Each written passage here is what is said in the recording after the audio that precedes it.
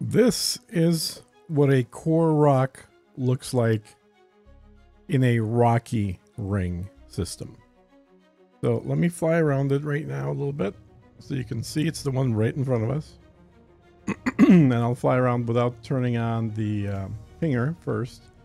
Then I'll have the pulse wave going so you can see what it looks like with the pulse wave.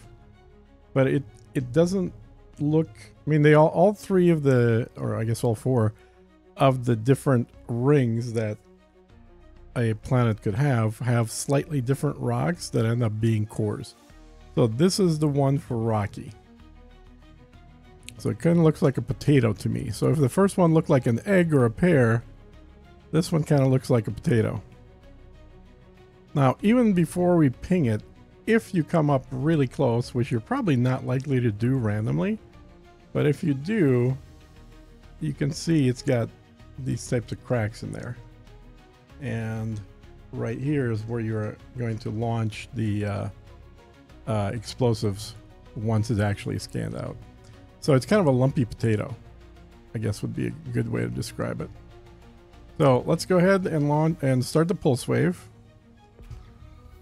So you can see what it looks like when it's pulsed, which is how you would normally be able to identify it. Uh, I think I just bounced off another rock. So let me just go down here and kind of circle it again. Let it spin a little bit around. You can see what it looks like from different directions. So from that direction, actually kind of looks sort of like the uh, uh, the pear-shaped rock as well. It does have one side that is flatter than the other sides, but it's it is got a lot of lumps to it. It's not a it's not a very clean looking shape to it at all. And if we get up close to it here, you can see this is what it looks like if all you see is a round rock. It still kind of has two flat sides and two roundish sides. Let's go around this way. So you want to memorize this shape and then only scan rocks that are this shape and not rocks that are other shapes because those are going to be a waste of time in a rocky ring system or a rocky ring planet um, or a rocky ring ring in the rocky ring. All right, you guys got that? Now let's go ahead and launch our probe, our pro prospector limpet probe.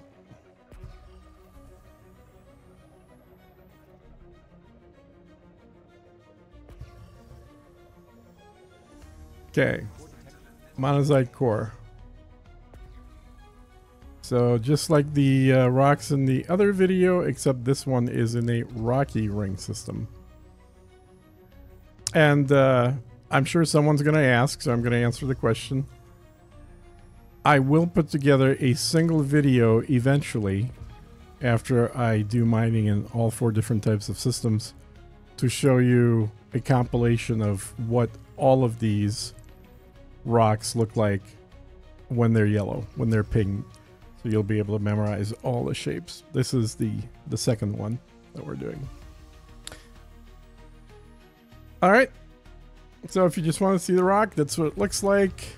And there are a lot of a lot of yellow rocks here, but uh, not a whole lot of them that I've seen that are this shape, that's for sure.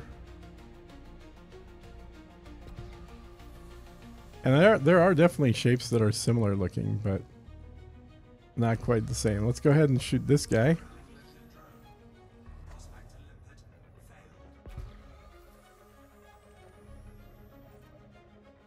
This one's not spinning at all. That's pretty unusual.